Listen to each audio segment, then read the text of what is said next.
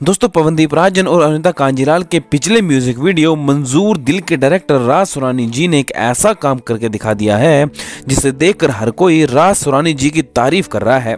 यहाँ तक कि पवनदीप और अनिता के फैंस तो राज सुरानी जी के लिए काफ़ी अच्छी बातें भी कह रहे हैं। आपको बता दें कि पूरे सोशल मीडिया पर पवनदीप और अनिता के फैंस काफ़ी ज़्यादा खुश भी दिखाई दे रहे हैं। आखिर क्या है इसको लेकर पूरी खबर? और राज सुरानी जी ने ऐसा क्या कर दिया है कि पवनदीप और अनिता के फैंस उनकी काफ़ी ज़्यादा तारीफ़ कर रहे हैं। चलिए आपको बताते हैं। नमस्कार दोस्तों, आप देख रहे हैं ट्रू बॉलीवुड चैनल। पर अगर आप पहली बार आए हैं तो सबसे पहले जल्दी से हमारे चैनल ट्रू बॉलीवुड को सब्सक्राइब करें। साथ में घंटी के निशान को ज़रूर दबा दें।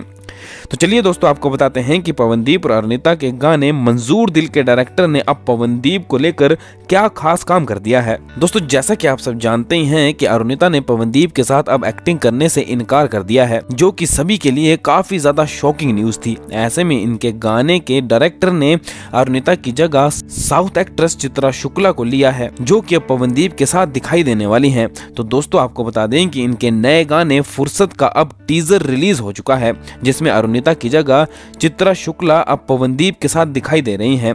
ऐसे में अब हर कोई डायरेक्टर राज सुरानी जी की तारीफ़ कर रहा है क्योंकि पवनदीप और चित्रा की जोड़ी काफ़ी अच्छी लग रही है। जब इस गाने का पोस्टर रिलीज़ हुआ था, तब भी फैंस ने उन्हें काफ़ी ज़्यादा पसंद किया था और अब इस गाने के टीजर को भी हर कोई काफ़ी ज़्यादा पसंद कर रहा है।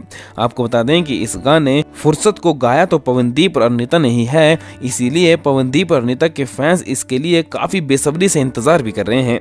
आपको पवनदीप और चित्रा की जोड़ी कैसी लगी, हमें कमेंट बॉक्स में ज़रूर लिखें और रियलिटी शो से जुड़ी हर एक लेटेस्ट न्यूज़ के लिए हमारे चैनल को सब्सक्राइब करें, साथ में बेलाइकन को ज़रूर प्रेस कर दें।